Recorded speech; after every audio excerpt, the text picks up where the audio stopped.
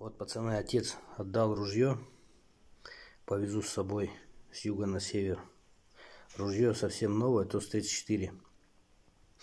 Сейчас покажет отец мастер-класс, как его собирать. А то однажды был у нас с одним парнем по молодости случай. Купил он ружье себе ТОС-34.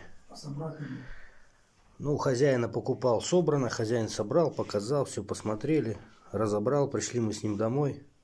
А собрать у нас ума не хватило. Тогда интернета у нас в поселке не было.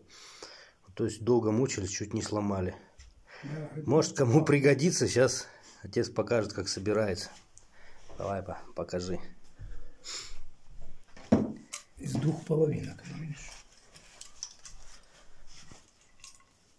Вот, смотри. Фишка вот эти вот. И вот, видишь, закругление. Сейчас, Она должна совпасть. Ну, я обычно, знаешь, проравниваюсь как. Вот смотри, вот это горизонт, и этот горизонт. И она совпадает. Видишь?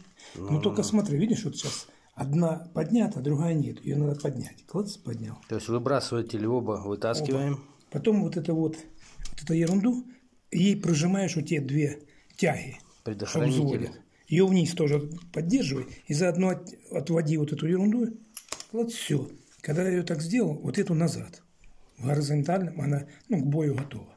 Все, ружье собрано. Да. Разбирать вот вниз, эту отводи. Все. Все элементарно просто. Повтори.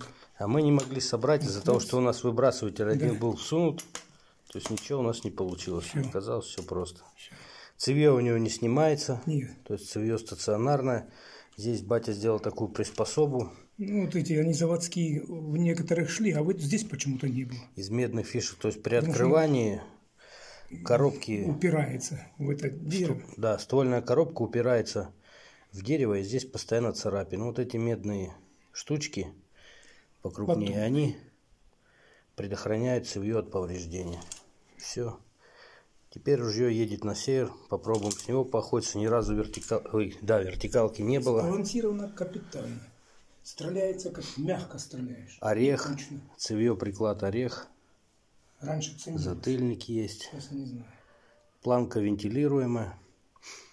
Чок-получок также. 12 калибр. Ну, теперь поедет к нам. Попробуем ружье сделать мясным. Ружье инжекторное. Ну, я не знаю, может, инжектор отключается. Да зачем? Еще не пробовали. удобно. Стр- Выстрелил, переломил, гильза вылетает. Ну, чтоб гильзы по тайге не валялись тоже. Лишнее иногда палево никому не надо.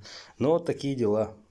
С Ружье завода они просмотрели, знаешь что? вообще новое. Вот эту ерунду, если бы она фиксировалась, подпружиненная была в двух положениях, еще было бы лучше. То есть А то, предохранитель а то, что она может и сама так стать. Видишь? не под не фиксируется. Нет, То есть нету и гребенюка так. постоянно нужно следить за этим. Но И у ну, него видите, проблема. возвращается раз.